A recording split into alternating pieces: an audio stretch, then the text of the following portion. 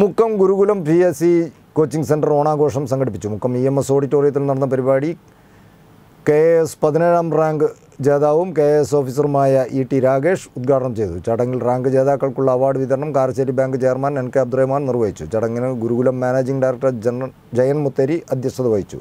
തുടർന്ന് വിദ്യാർത്ഥികൾക്കായി വിവിധ കലാകായിക മത്സരങ്ങളും അരങ്ങേറി. ഡോക്ടർ അംബേദ്കർ സാംസ്കാരിക വേദി മുക്കം നിർധന കുടുംബങ്ങൾക്കുള്ള കിറ്റ് വിതരണവും കൂപ്പൺ നറുക്കെടുപ്പും നടത്തി. കിറ്റ് വിതരണ ഉദ്ഘാടനം കെ കൃഷ്ണൻകുട്ടി നിർവഹിച്ചു. കൂപ്പൺ നറുക്കെടുപ്പ് ചന്ദ്രൻ കല്ലുരുട്ടി നടത്തി. ഷാജഹാൻ ചോണാട് കെ പി ശേഖരൻ റജി സ്വപ്ന തുടങ്ങിയവർ നേതൃത്വം നൽകി.